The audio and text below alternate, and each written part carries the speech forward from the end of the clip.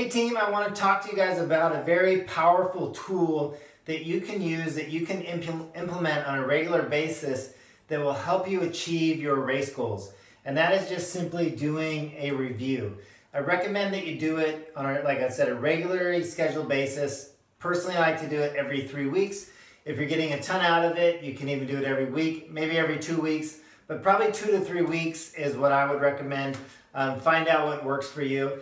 I've got a I've got a document that I made up on uh, Word. It's turned it into a PDF and it's attached to this video. And so you can just print that out and you can use that each time. Feel free to modify it as well if you find some things you want to add or take away. Um, and if you do, I'd love to hear it because it might help me modify what I've created. Uh, but I want you to start with reviewing your race goals. So you're all training for this race, this event. I want you to write down what those goals are, whether it's just simply to finish or to finish with a smile on your face or to get a certain time, right? Take a little bit of time to connect to that goal because each time that you connect to that goal, it'll strengthen that goal within inside of you and it'll remind you, you know, why you're getting up early, why you're um, not hanging out with your friends as much because you're out there training, right? The things that you're sort of sacrificing to achieve this big goal that you're working towards, it's good to remind yourself of that and why it's important to you.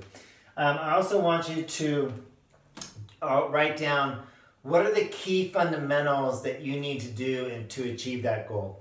Uh, so I have another video about um, figuring out those key fundamentals, so I'll link that to this. But, but essentially, you should know the two or three things that are really critical for you to do to reach that goal. Consistency is the big one. So it could be consistency. It could be that you need to, you know, lose three pounds, depending, especially if you have a time goal, if you want to get faster. It could be that, hey, I need to get to the pool three times a week. I need to get one-on-one training lessons, swim coaching lessons once a month. Um, I need to meet this group at a track workout at least twice a month right? Figure out what it is that you need to do to reach that goal and then just remind yourself of those key fundamentals. So these first two things, it's really about creating accountability for yourself. You know, study after study has shown that people do better at achieving their goals, achieving what they're going after when they have someone to keep them accountable. And so that's why people have training partners and groups and hire coaches this is a way for you to create accountability for yourself and to hold yourself accountable because you have to go to this review and you have to write down, hey, these are this is what I said I wanted to do. This is what I'm doing. Maybe that's not matching up. Why is that not matching up? Figure that out and really, you know, get true with yourself what's going on in your training, okay? It's all designed to help you reach that goal that you set for yourself. Uh, the next thing I want you to do is I want you to celebrate your successes. And why is that? Well, there's a couple reasons. One is it's important to stay positive.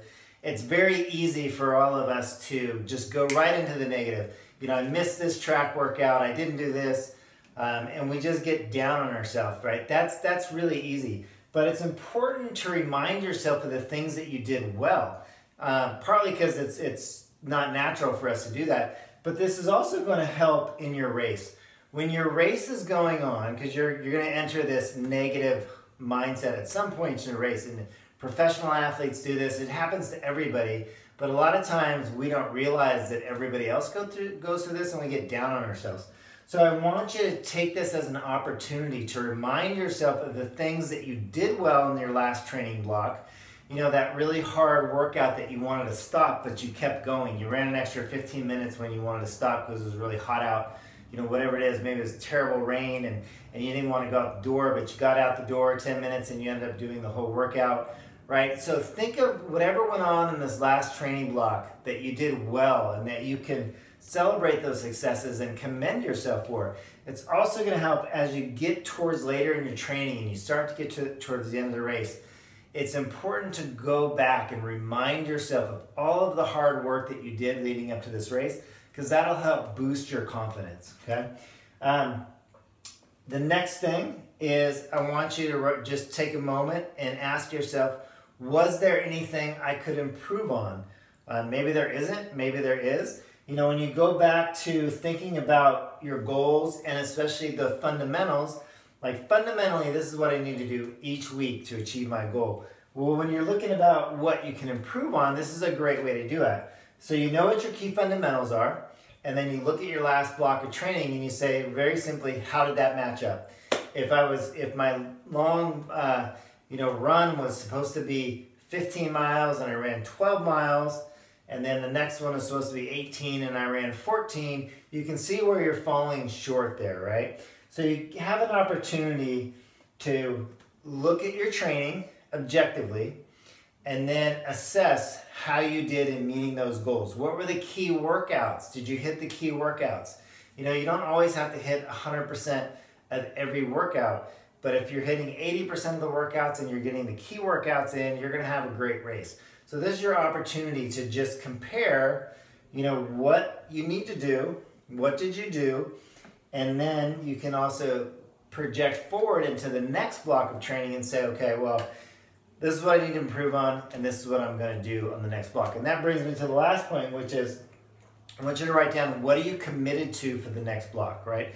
So you, you know where you need to improve, and now write down what are you committed to. And the reason why I want you to write that down, the simple act of writing down what you need to improve and what you are committed to, it will help you strengthen that commitment. Because it's just like when you tell somebody, hey, I'm going to achieve this thing, it's like, you've said it, you've got it out there. It's like, holy crap, now I got to actually do what I said I was going to do, right? And there's there's uh, research that proves this too. Is when you when you verbalize something and you commit to it and you commit to one person, then it helps you hold yourself accountable because you just spoke it out loud.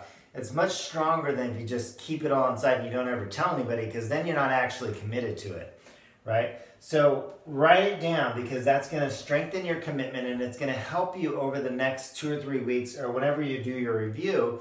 It's going to help remind you, hey, I said I was going to do this, right?